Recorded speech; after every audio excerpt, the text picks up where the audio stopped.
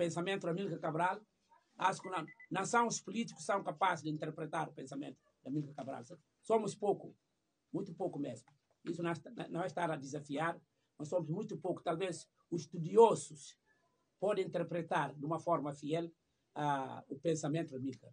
Quando diz o pensamento de Amílcar, tem que escutar. Não sei se, se quer referir os princípios do partido ou se, se quer referir uma outra forma de atenção, chamar a atenção de Amílcar.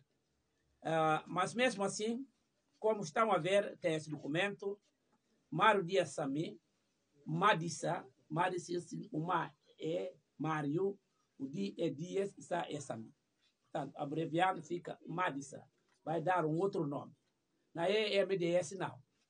O MDS pode ser Movimento Social Democrático, mas esse aqui é Madissa, Mário Dias Sami.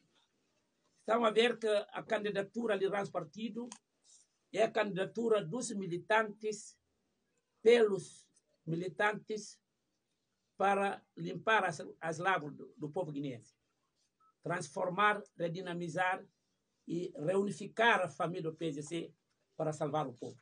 A, a minha candidatura ultrapassa as dimensões, os limites, uh, ultrapassa as estranhas do partido. Uh, por causa que é o povo que está cansado, é o país que está desorganizado. Portanto, e, e o PSC é reconhecido, é reconhecido como o, a única formação política capaz, de facto, mais uma vez lançar um grande desafio para salvar o partido. Eu disse aqui, sou um quadro altamente treinado e disponível para, para as grandes tarefas e os desafios que o desenvolvimento da pátria, Mirko Cabral, exige os seus cidadãos dedicarei a minha vida e colocarei a minha energia, a minha capacidade, a minha inteligência e as forças que, que disponho para criar as condições mais profícuas para a edificação de uma sociedade paz, justiça social, bem-estar, valorização da mulher, da criança, dos idosos e das camadas das mais desfavorecidas das nossas populações. Portanto, falando isto, não estou apenas a referir o partido.